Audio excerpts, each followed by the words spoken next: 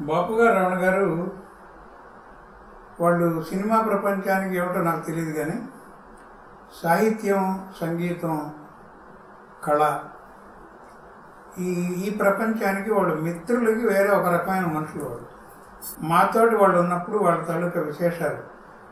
వాళ్ళిద్దరైనా లేకపోతే వాళ్ళతో పాటు శ్రీరమణ వాళ్ళతో పాటు రావికొండలరావు నండూరి రామ్మోహన్ రావు పురాణ శర్మ ఆంధ్రజ్యోతి ఆ రోజుల్లో. వాళ్ళంతా ఒక ఒక ఉషశ్రీ విశ్వనాథ పావన శాస్త్రి ఇలాంటి వాళ్ళందరితో కలిసి కూర్చున్నప్పుడు అది ఒక మైత్రి అంటే ఇలా ఉంటుంది ప్రపంచం అంటే ఇలా బతకాలి నవ్వు అంటే ఇలా ఉంటుంది ఆనందం అంటే ఇలా అనుభవించాలి అని చెప్పినటువంటి వాడు నాతో వాళ్ళ పరిచయం ఎలాగంటే రావణయ్యరాజయ్య గారు వారిది మారిది ఒకే ఊరు వాళ్ళ అబ్బాయి నేను క్లాస్మేట్స్.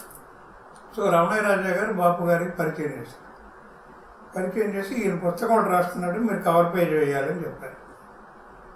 బాపు గారు అడిగారు నన్ను, ఏమిటి సార్ మీ పుస్తకం? అని. కరెక్ట్గా శ్రీశ్రీ గారు ఏమన్నారో ఈ పుస్తకం పేరు అని అదే మాట బాబు గారు అన్నారు. ఏమిటంటే నేనేమో పిహెచ్డీ అది. సంస్కృత భారతం తెలుగు భారతం సంస్కృత భాగవతం తెలుగు భాగవతం ఈ నాలుగింటికి కంపారిజన్ దీన్ని తెలుగులో ఎలా చెప్పాలి? సంస్కృత ఆంధ్ర భారత భాగవతములు సదృశ విషయ పరిష్కార వివేచనాన్న కొంచెం తెలుగులో చెప్పడం అటువంటి సహృదయత అనమాట తర్వాత నాకు ఆశ్చర్యం ఏంటంటే పాప బాపు గారు అంటే నేనేదో నైన్టీన్ ఎయిటీలో వచ్చాను ఇప్పుడు అప్పటికే ఆయన ప్రపంచం అంత పేరు. ఈయన ఏం చేస్తాడో ఈయన బొమ్మ వేస్తాడో వేయడో వేస్తే ఎప్పుడు ఇస్తాడో అని అనుకుంటే ఒకరోజు ఉదయాన్నే తలుపు కొట్టి మా ఇంటికి వచ్చి కవర్ పేజ్ నాకు ఇచ్చాడు ఆయన. డబ్బులండి అన్నాను. మీకు డబ్బుల కోసం వేయలేదు అన్నాడు. అక్కడి నుంచి ప్రారంభం. తర్వాత నా బడిగోవింద శ్లోకాలు వేశారు. తర్వాత ఒక పదిహేను పుస్తకాలు కాసు పర్టికులర్గా అన్నమయ్య గురించి నేను తిరుపతి దేవస్థానంలో పన్నెండు లెక్చర్లు ఇచ్చాను. పన్నెండు గడిపి ఫ్లవర్ సెట్ హిస్ ఫీట్ అని ఇంగ్లీష్లో రాశాను ఈ పుస్తకం ఆయనకి ఇస్తే ఇరవై బొమ్మలు వేశాడు ఆయన. లోపల ప్రతి చాప్టర్కి బొమ్మ వేశాడు. వేయడమే కాకుండా రావణ గారు ఒకరోజు బాత్రూంలోంచి బయటకు వచ్చాను నేను. మీ గురించి ఒక పద్యం వచ్చింది బాత్రూంలో అన్నారు బాత్రూంలో ఇంకేవేవో వస్తాయనుకున్నా పద్యం కూడా వస్తుందా అని అడిగారు. అంటే మీలాంటి వాడు పుస్తకాలు రాస్తే వస్తున్నారు. ఏమిటండి పద్యం అన్న? అది flower set his feet English పుస్తకం. అన్నమయ్యకు పద పదార్చన సన్నతింపగ నెంతవారం వెన్నగాచిన నెయ్యి కదరా వేణుగోపాల అన్నారు. ఆ రకంగా వాళ్ళతో పరిచయం ఎక్కువ అయిన తర్వాత ఏమైంది? యాభై జావళీలు బంచ్ జావళీస్ అని పుస్తకం రాస్తే దీన్ని కవర్ పేజ్ చేయమంటే అప్పటికే బాబు గారు పది పన్నెండు పుస్తకాలు కవర్ పేజ్ చేశారు. ఈ కవర్ పేజ్ మీద కవర్లో బ్రౌన్ కవర్లు ఉంటాయి దగ్గర అందులో పెట్టి కవర్ పేజ్ ఇచ్చి దాని మీద తిప్పి చూడు అని ఒక పెట్టి యారో పెట్టాడు. ఏమిటి తిప్పి చూడడం అని కవర్ తిప్పి చూస్తే మా తమ్ముడు శంకర్ నారాయణ మంచి ఆర్టిస్ట్ ఆయన తాలూకా సంగీత విద్వాంసుల బొమ్మలు చాలా వేశాడు. మీరు మ్యూజిక్ అకాడమీ సెక్రటరీ కదా. అక్కడ ఆయన బొమ్మలు ఎగ్జిబిషన్ పెట్టచ్చు కదా అని. తప్పకుండా పెట్టచ్చు అని. ఆ సంవత్సరం పెట్టారు అంటే మేమేం చేసాము మ్యూజిక్ అకాడమీలో ఆర్కేస్ ఒకటి పెట్టాం. ఒక ఇరవై వేల గంటల కర్ణాటక సంగీతం పాటలు బై డిఫరెంట్ మ్యూజిషియన్స్. దీనిలో ఉన్నటువంటి ఆర్టిస్టులు అందరి తాలూకు బొమ్మలు ఆయనకి ఎక్కి కొన్ని ఆయనకి తెలుసు కొన్ని మేము ఇచ్చాము. అన్నింటికి బొమ్మలు వేశారు. నూట యాభై రెండు వందల బొమ్మలు వేశారు. ఇప్పుడున్న యంగ్స్టర్స్ బాంబే జయశ్రీ అరుణా సాయిరామ్ వాళ్ళతో కలిపి పూర్వకాలంలో ఉన్నటువంటి జిఎన్బి లాల్గుడి వాళ్ళందరూ బొమ్మలు కలిపి నా బొమ్మ కూడా సరే గారు అక్కడ ఉంది. మేము ఈ ఆర్కేవ్స్ ఒక పది డిఫరెంట్ కంట్రీస్లో పెట్టాం. అన్ని కంట్రీస్లో శంకర్ నారాయణ గారి బొమ్మలు ఆయనతో ఆయన ప్రపంచం పట్టలేని పేరు వచ్చి ఆయన ఏ బొమ్మ వేసినా నాకు ఇప్పుడు కూడా ఇవాళ కూడా నాకు ఒక బొమ్మ పంపిస్తారు. ఫలానా ఆయన వర్ధంతి ఫలానా ఆయన జయంతి. ఎందుకు చెప్తున్నానంటే రమణ గారు నాకు సైన్స్ ఆఫ్ శ్రీచక్రం పుస్తకం నెలల్లో రాశాను అదేమో ముత్తుస్వామి దీక్షితుల వారు తర్వాత నవగ్రహ కృతులు నా నవాభరణ కృతులు తర్వాత శ్రీచక్రం గురించి. ఈ పుస్తకానికి ఆయన బొమ్మాయి ఆయన. అప్పుడు వెంకటేశ్వర నాట్యం ఎస్బీసీ ఛానల్ చేస్తున్నారు హైదరాబాద్లో. పద్దెనిమిది ఎపిసోడ్ ఆయన నేను ఇప్పుడు చేయలేను నేను హైదరాబాద్లో ఉన్నాను. అంటే రమణ గారు చెప్పానయ్యా పుస్తకం ప్రింట్ అయిపోయింది కవర్ కోసం ఆగిపోయింది ఉండండి నేను మాట్లాడతానని ఆయన ఫోన్ చేశాను బాపు అక్కడ బ్రష్లు కలర్లు ఏమి దొరకవా అని అడిగారు. అడిగితే సరే వేస్తాను. వేస్తే ఇగో ఈ వర. ఈయనే అది నాకు ఈమెయిల్లో పంపించడం అందులో ఆయన ఏదో స్పెల్లింగ్ తప్పు రాస్తే ఇలా కాదని ఇలా రాయని నేను చెప్పడం అలాగే ఎలా ఉంటుంది స్పెల్లింగ్ అని ఆయన వాదించడం ఇవన్నీ జరిగాయి. ముఖ్యమైన విషయాలు ఏంటంటే బాపు గారికి నాకు ఉన్నటువంటి సంబంధం ఎక్కువగా సంగీత సంబంధం.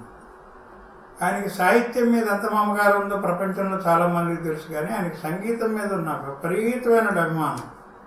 ఆయన త్యాగరాజు సినిమా తీస్తున్నప్పుడైతే ఆ త్యాగరాజు సినిమాలో ఏ ఏ పాటలు పెట్టాలి అన్నదో లిస్ట్ రాసుకున్నాడు. ఆ లిస్ట్ నా దగ్గర ఉంది. వాళ్ళ ఇంట్లో లేదు. ఆ త్యాగరాజు పుస్తకం ఆయన వాడింది నాకు అలా ఇచ్చేసాడు ఆయన. నేను అందులో చెప్పాను సార్ మీరు వాడుతున్న పాట వెడలని Kodanda Pani music throughout ఉంటుంది సినిమాలో. సార్ మీకు తెలుసో తెలియదో ఈ పాట త్యాగరాజు రాయలేదు అన్నాడు త్యాగరాజు రాయలేదా? అయితే ఏం పోయింది అన్నాడు అంటే నేను అనుకున్నాను తీసేత్తరగాలనుకున్నాను అయితే ఏం పోయింది అన్నాడు బాపు గారికి ఇలాంటివి రెండు మూడు లక్షణాలు ఉంటే అందులో ముఖ్యంగా చెప్పవలసిన అమెరికా వెళ్ళినప్పుడు రెండు వేల ఆరు అక్టోబర్లో వంగూరు చిట్టరాజుని హ్యూస్టన్లో ఉంటాడు అమెరికాలో. ఆయన బాపు గారిని పిలిచాడు. నన్ను పిలిచాడు. నేనేమో ముందర వస్తానన్నాను తర్వాత రానన్నాను. అంటే మీ ఆవిడకి కూడా టికెట్ ఇస్తాను మీ ఇద్దరు రండి లేకపోతే బాపు గారు రానన్నాడు. సో బాపు గారి ఇంట్లో ఏమిటి? వాళ్ళ ఇంటికి వెళ్తే నాకు ప్రామిస్ అనమాట మీరు దగ్గరుండి తీసుకెళ్ళి తీసుకొస్తానంటేనే బాబు గారిని పంపిస్తాము. నేను దగ్గరుండి తీసుకెళ్ళి తీసుకొచ్చాను. ముఖ్యమైన విషయం ఏంటంటే ఎవరింటికి వెళ్ళినా చిన్న చిన్న వాటికి అల్ప సంతోషాలు. అలాగే చిన్న చిన్న వాడికి విరిగిపోతాడు కూడా ఎంత కోపం వస్తుందో ఒక్క సెకండ్లో అంత ప్రసన్నుడు అయిపోతాడు రెండో సెకండ్. ఈయనకి ఆయనకి మధ్యలోనే ఎప్పుడైనా నేను అరిగిపోతే నన్ను రక్షించిన వాడు ముళ్ళపూడి రావణ గారు ఆయన్ని చాలా నాకు ఆయన ఒక అక్షరానికి ఆకృతి ఇచ్చినటువంటి మనిషి ఆయన. తెలుగుదేశంలో ఇవాళ ఎవరు బొమ్మ వేసినా ఎవరు అష్టాలు రాసినా ఎవరు సంతకాలు పెట్టినా ఆయన అనుకరించడానికి ప్రయత్నం చేస్తుంటారు. అటువంటి మహానుభావుడితో నేను ప్రయాణం చేస్తున్నానని నేను ఏం చేశానంటే ఆయన ఏ వస్తువు వాళ్ళ ఇంట్లో ప్రామిస్ చేశాను కదా ఆయన జాగ్రత్త తీసుకెళ్ళి తీసుకొస్తానని ఆయన ఏ వస్తువు ఆయన మోయినవ్వలేదు ఆయన చిన్న చిన్న హ్యాండ్ బ్యాగ్ అవ్వండి ఏమైనా నేనే పట్టుకుంటాను ఒక చోట ఆయనకు చాలా కోపం వచ్చింది అంటే ఆ రోజు రాత్రి ఒకళ్ళ ఇంట్లో దిగాము ఆ ఇంట్లో వాళ్ళు పరమ ఛాందసులు అనమాట వాళ్ళ ఇంట్లో అగ్నిహోత్రం ఉంటుంది నిరంతరం. వాళ్ళు పూజ చేస్తారు. నేను బాపు గారు చెప్పాను ఇవాళ సాయంకాలం మీ తాలూకు రెగ్యులర్ కార్యక్రమం వదిలేయాలని మరి. అంటే నేను వదలనమాట వాళ్ళ ఇంటికి కొన్ని శాస్త్రీయమైన పద్ధతులు ఉన్నాయి. ఈ ఇంట్లో ఇవి చేయకూడదని. అప్పుడు తిట్టాడండి ఆయన నన్ను. నా జన్మలో ఇవ్వడానికి తిట్టలేదు నన్ను. నీకెందుకు మూడు పిహెచ్డీలు? నీకెందుకు మూడు ఎంఏలు ఇలా చెడామడ చెడామడ. తిట్టాడు. తిట్టిన తర్వాత మన్నాడు ఉదయం లేచి ఎయిర్పోర్ట్కి వెళ్తున్నాం నిన్న రాత్రి ఏమన్నా అన్నానా? అని అడిగాడు. చాలా అన్నారండి పర్వాలేదు.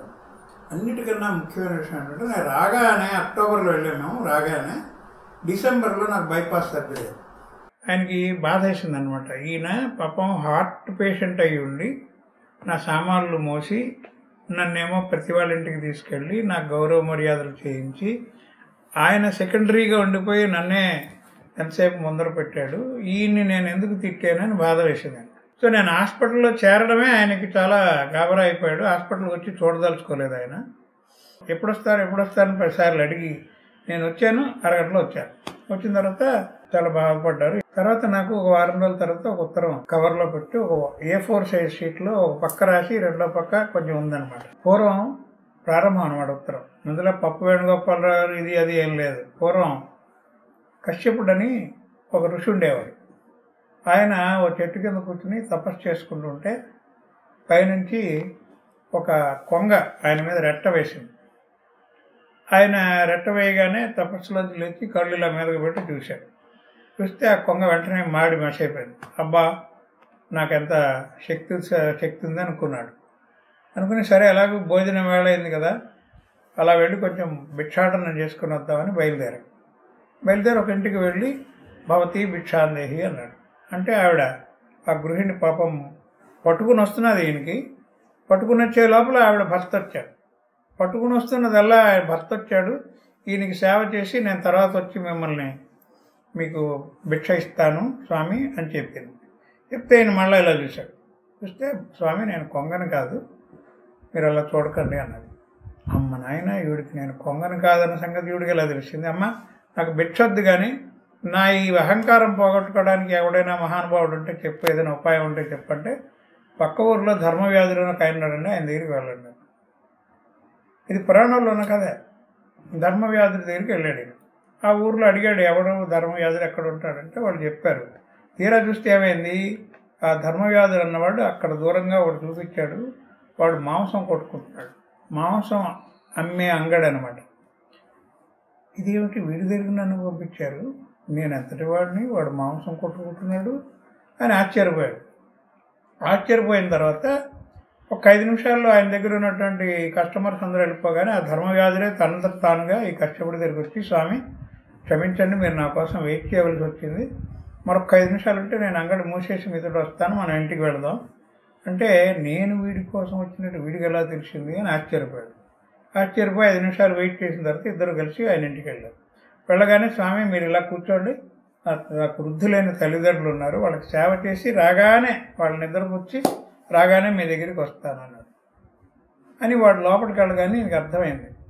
ఎవరి ధర్మం వాళ్ళు నిర్వర్తించుకోవడంలోనే అహంకారం నశిస్తుంది ఆ సంగతి ఆయనకు అర్థమైన తర్వాత ఆయన ధర్మయాదుల కోసం వెయిట్ చేయకుండా వెళ్ళిపోయాడు. ఇప్పుడు బాపు గారి తల కాదు ఇక్కడ స్టార్ట్ అవుతుందన్నమాట. నేను ఆ కశ్యపుణ్ణి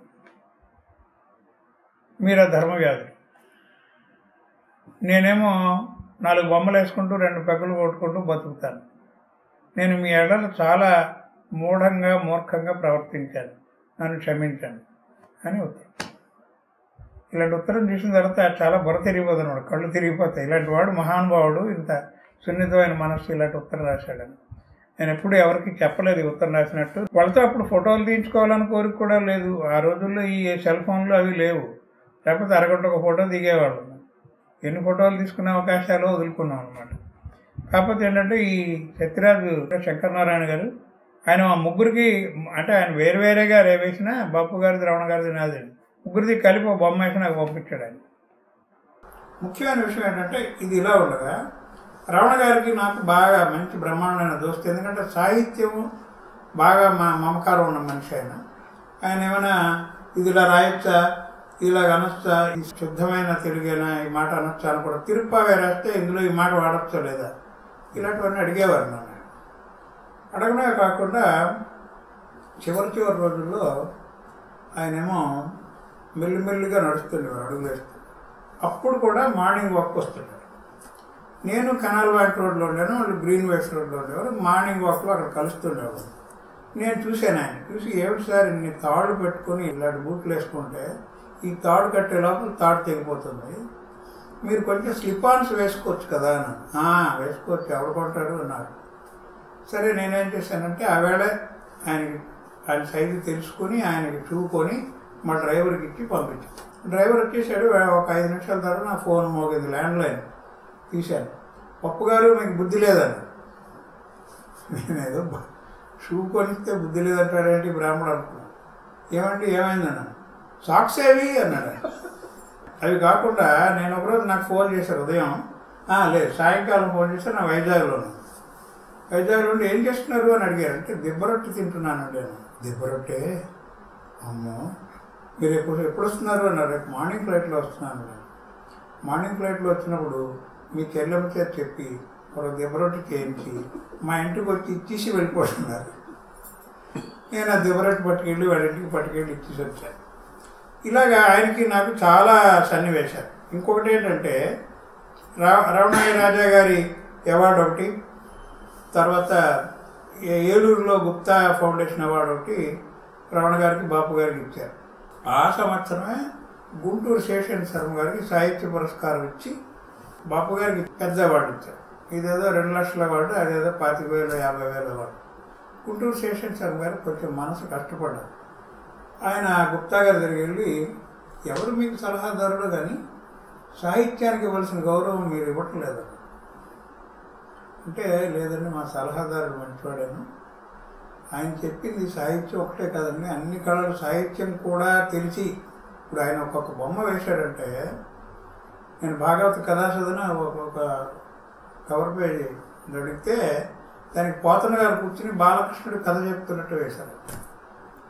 అటువంటి ఎన్నో రకమైనటువంటి ఇప్పుడు సాహిత్యం పూర్తిగా అవలోడనం చేసిన వాడు కానీ విజయలేనటువంటి చిత్రాలు వేసినటువంటి బాపు గారు మామూలు సాహితీవేత్తల కన్నా కవుల కన్నా చిత్రకారుడిగా కళా తపస్వి ఆయన. ఆయన అసలు మామూలు కళాకారుడు కాదు. అలాగని ఆయన చెప్పి ఆయన చెప్పారు. మరొకటి ఏం జరిగిందంటే ఈ ఒకసారి రమణ గారు నన్ను పిలిచారు. పప్పు గారు మీకు హిందువులో మంచి పలుకుబడి ఉంది కదా. ఆ రోజుల్లో ఇందులో నేను పుస్తకాలు రివ్యూ చేస్తున్నాను. తెలుసండి కొంతమంది మన బాపు బొమ్మలు ఒక్కటి కూడా ఇప్పటివరకు ఇందులో పడలేదు. మనం ఏమైనా ఈ ధనుర్మాసం వస్తుంది కదా ఈ తిరుప్పావై బొమ్మలు ఏమైనా వేయించగలమా అని అడిగారు. అంటే వాళ్ళకి బాపు అంటే ఎవడో తెలియదండి. అంటే ప్రయత్నం చేయండి అన్న అంటే నేను ఒక ఎడిటర్తో మాట్లాడు అక్కడ బోర్డు మంది ఎడిటర్లు ఉంటారు. ఒక్కొక్క సెక్షన్కి ఒక్కొక్క ఎడిటర్ ఉంటాడు. ఆయనతో మాట్లాడితే ఆయనేమో మనం వెళ్దాం వాళ్ళ ఇంటికి ఆయన ఏం చిత్రాలు వేస్తారో చూద్దాం సరే బాబు గారి ఇంటికి వెళ్ళాం. చెప్పాను నేను హిందూ నుంచి ఒక ఆయన తీసుకొస్తున్నానండి. ఆయన హిందూ హిందూ నుంచి వీడు ఇంద్రుడు రాని.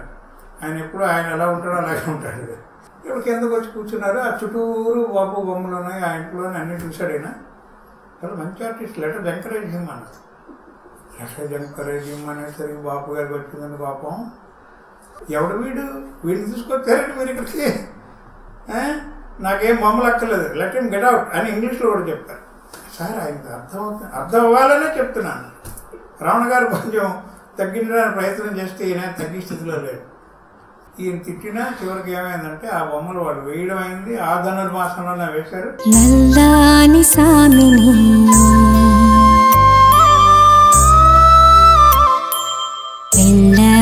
మనసైతే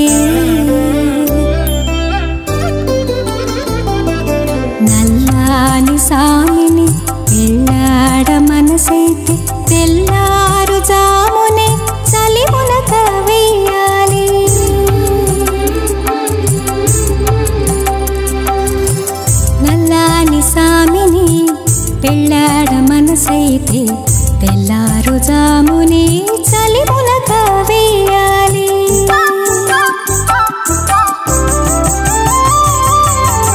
కన్నె మనసు విప్పి కచాయనికి చెప్పి మార్గశిరలోమును మనసార తలపెట్టి.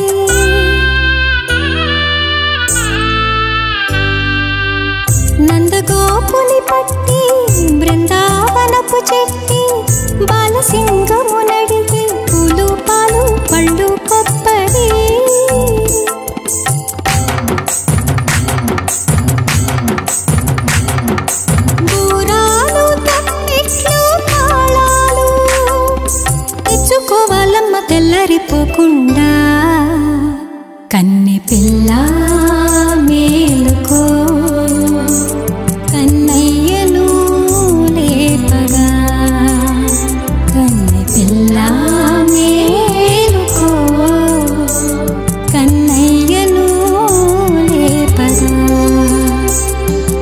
కాకపోతే ఏంటంటే వాళ్ళు ఇంగ్లీష్లో కావాలంటే ఇంగ్లీష్లో ఎవరి చేత రాయించుకుని ప్రతిరోజు ధనుర్మాసం అంతా ఆయన బొమ్మలు వచ్చేటట్టు వేస్తున్నారు. అది చాలా ఎంతో మందికి బాపు గారని తెలీదు.